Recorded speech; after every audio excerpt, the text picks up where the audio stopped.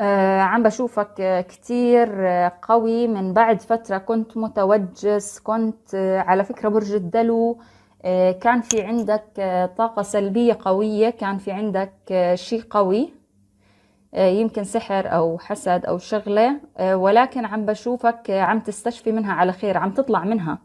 الشاكرات تبعولك انضاف في آخر الشهر. أمورك تمام. أكتر شي الناس اللي عم يدرسوا عم بشوف آه، في نتائج كتير آه، حلوة. في نجاح بامتحان يمكن كررت الامتحان أكتر من مرة ولكن شايفة آه، نجاح شايفة احتفال بالنجاح مع الأصدقاء أو مع الأهل. عم بتفرح أهلك بهذا الموضوع أو عم يفتخروا آه، فيك. وممكن تكون آه، نفسك أنت صاحب العائلة يعني الأب أو الأم أنت نفسك آه، الدلو. آه، إنه اولادك رح يفرحوك بهذا الموضوع موضوع آه، الدراسة هذا الشهر. آه، فكمان بيطغى على الكروت والناس اللي عندهم دراسات عليا أو عم يدرسوا في بلد تاني لأني عم بشوف آه، شوي من آه، أو بعض آه، ناس برج الدلو إما انتقلوا على بلد تاني أو رح ينتقلوا عم بشوفهم عم ينتقلوا وعم بيحاولوا يكبوا كل ال- ال- الأشياء السلبية وكل المشاكل بالبلد القديم أو بالمسكن القديم ويحاولوا يغيروا يروحوا على جديد. عم بشوف برج الدلو الأشخاص وكأنه عم بيغيروا جلدهم وكأنه تعلموا بما فيه الكفاية من الحياة ومن الأشخاص اللي حواليهم عم بيغيروا جلدهم ب يعني الناس عم تطلع عليك عم تحكي لا مش هذا مش هذا هو. إنه كتير كتير رح تكون شخصيتك متغيرة. آه، عندك حكمة كبيرة. آه، بتحط حدود للعالم. من بعد ظلم كبير أكلته. أنت فعلا انظلمت كتير. آم، فعم بشوف بعده زي ما قلنا في انتصار من بعد هاي المشكلة. آه، شايفيتك عم بتفكر بشكل إبداعي أو إنك تطلق آه، فكرة بشوفك فيها آه، إما شغلة إبداعية أو شغلة بتساعد فيها الناس فيها مساعدة للناس. مش إنه بدون مقابل لا بمقابل ولكن بشوف فيها آه، مساعدة بتقدم مساعدة للناس. ممكن تكون هيلر ممكن تكون آه، آه، بجمعية خيرية عم تشتغل أو عم بتحاول آه، تعمل هذا الموضوع. آه، يعني عم بشوف خير من عندك بيطلع للناس وعم تتصدق بهاي الفترة كتير. آه، عم بشوفك كتير آه، كريم. آه، أنت بالأساس كريم بس هذا الشهر أكتر. آه، عم بتكون كتير محتاط في شخص آه، حواليك. آه، امرأة أو رجل مش يعني مش شرط. ولكن هذا الشخص آه، برجة آه، مائي على الأغلب. هذا الشخص آه، في مشاكل بينك وبينه مش شايلك من راسه. آه، رح يضل آه، فترة يعني في في راسه آه، أنت موجود ورح يحاول إنه يعني يعمل شوية مشاكل ولكن ما رح يطلع في إيده شيء. أنا مش شايفة إنه بس آه، اللي هي آه، على الفاضي محاولات آه، فاشلة. بس إنك شوي تكون آه، محترس من هذا آه، الموضوع. عزيزي في في عرض رح يتقدم إما منك إما من الشريك. آه، شايفة في الكروت جاية فوق بعضها كتير حلوة. آه، انت والشريك شايفيتك في في ال- الحب وال من بعد آه، مشكلة كبيرة يمكن هاي المشكلة نفسها. آه، يعني مشكلة كانت مش آه، صغيرة مشكلة كبيرة مع الشريك. آه، صار فيها آه، اللي هو كلام انت غلطت هو غلط آه، انظلمت فيها ويمكن هو المظلوم كمان. يعني القراءة ممكن تكون عكسية لأنه عامة آه، ولكن عم بشوف آه، من بعد هيك عم بشوف آه، آه، ب- عم يعني عم الأمور آه، ترجع زي ماضيها زي ما أول بلشت آه، العلاقة.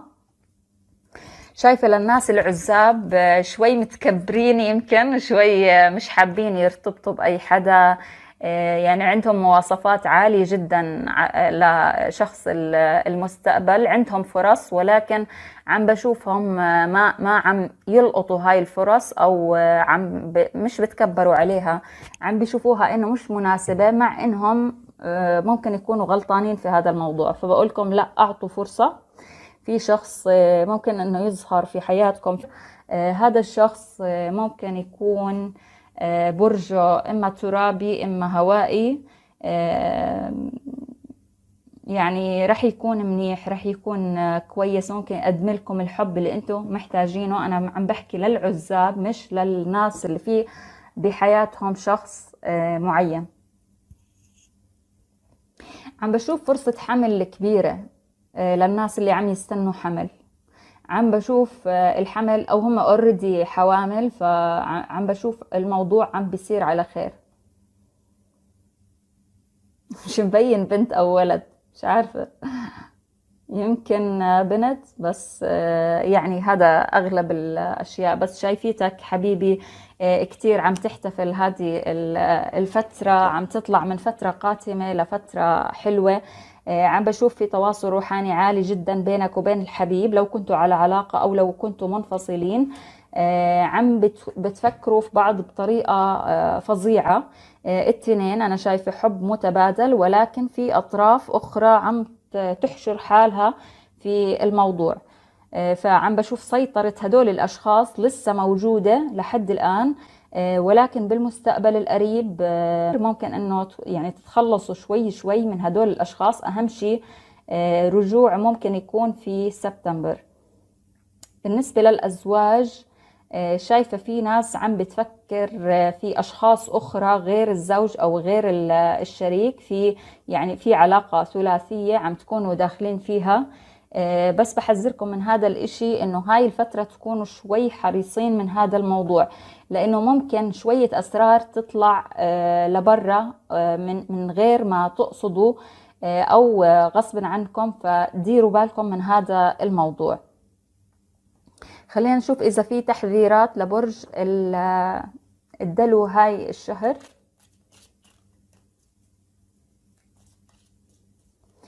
إذا شايف انتصارات بالعمل آه، آه، يعني ممكن يكون آه، اللي هو ترقية لأنه شايفة عندك مفتاحين.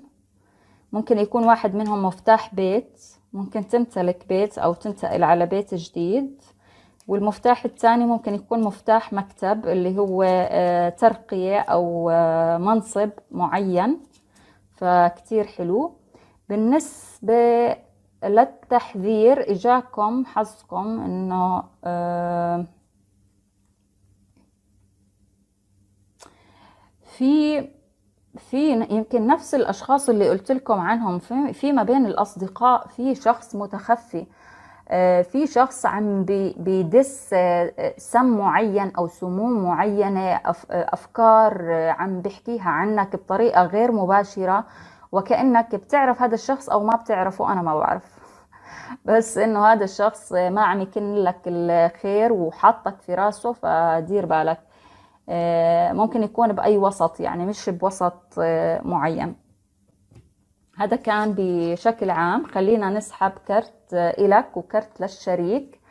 إذا كان في شريك آه، للعقل الباطن على شو عم بتركزوا هاي الفترة أو شو عم بتفكروا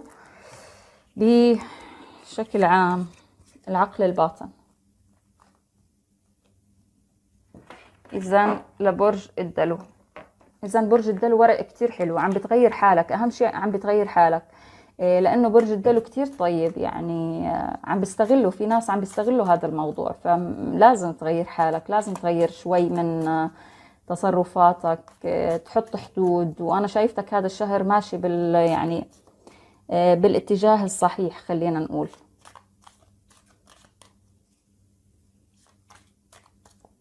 إذا كرت إلك كرت للشريك. بالنسبة إلك حط يعني ما عم تفوت دقيقة طول الوقت عم بتفكر بالحبيب. ما رايح أبدا من فكرك.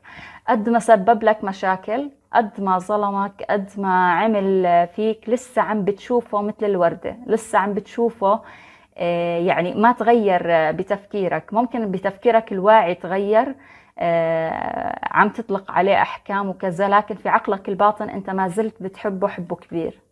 وأحلى كرتين. آه كمان الشريك. الشريك آه عم بيحاول أنا شايفة في عنده طاقات سلبية ممكن تكون من طرف ثالث عامل له طاقة سلبية أو آه يعني من طرف آه مو شرط طرف ثالث اللي هو خيانة لا يعني ممكن تكون أي طرف. آه لكن عم بشوفه شوي شوي عم بتحرر من هذا من هاي التراكمات اللي عنده.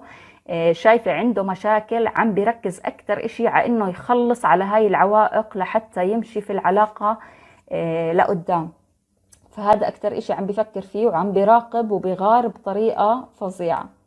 لكن ما عم يبين مبين عندي إنه آه، شوي شخص متكبر أو عنيد غامض عم بيخبي أمور أو بيتقصد يكون غامض لحتى يغيظكم يمكن. خلينا نشوف oracles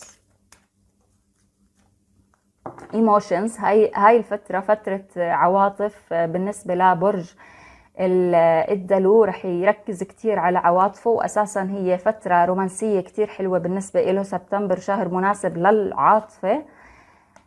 آه نفس اللي قلنا عليه قبل شوي سبحان الله إنه changing your mind يعني إنه أنت رح تغير تفكيرك أو آه، الطريقة اللي بتغير اللي بتفكر فيها بالناس أو إنك تحط حدود زي ما قلنا آه، هذا الكارت بيأيد هذا الموضوع. هون بقول لك step away from the world and seek. آه، بقول لك شوي ابعد عن الزحمة الحياة المدن العجقة اللي بحياتك حاول تبتعد تعمل خلوة لحالك تقعد شوي مع حالك يمكن تعمل مديتيشن يمكن تعمل أي أي سلوك روحاني أي ممارسات روحانية آه، لحالك آه، تعطي حالك شوية خلينا نقول يعني راحة من التفكير. بيقول لك خلي حدسك هو اللي يحركك ما كتير ترد على اللي حواليك أو على الناس اللي حواليك. رح يكون يعني رح يكون في لغط لأنه قلنا قبل شوي في أشخاص حواليك ما عم يريدوا لك الخير. فبيقول لك انتمي أو اتبع إحساسك وأنت من الأشخاص اللي عندهم حاسسات يعني قوية. فهدول برج الدلو. كمان بيقول لك نو ذا لو. هذا الكرت كرت قانوني بس بيقول لك إنه انتبه من الأمور القانونية من المخالفات آه، بشكل عام إنك تخالف وخاصة في العمل للناس اللي بيعملوا بيشتغلوا. آه، كون آه، يعني ماشي على القانون مية بالمية ما تتركها للحظ. هاي الفترة.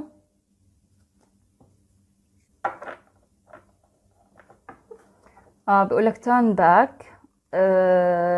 في موضوع انت عندك اياه.